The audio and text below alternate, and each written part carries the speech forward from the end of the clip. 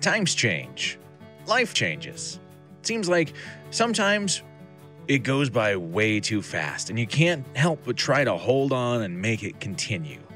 And other times, it just won't ever seem to end. Well, today we're going to talk a little bit about that. I'm Drew Brown, and this is Daily Brew. Ecclesiastes 3:1 tells us this: For everything there is a season, and a time for every matter under heaven.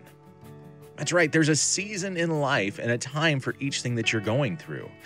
It means don't worry, this time is going to end. And there's a new time coming.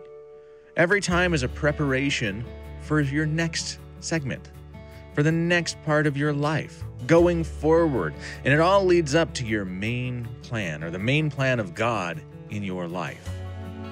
Trust God and lean on Him as He takes you through your life throughout His plan for you. Just remember, things change and it's okay. For everything, there's a season and a time for every matter under heaven. And this has been Daily Brew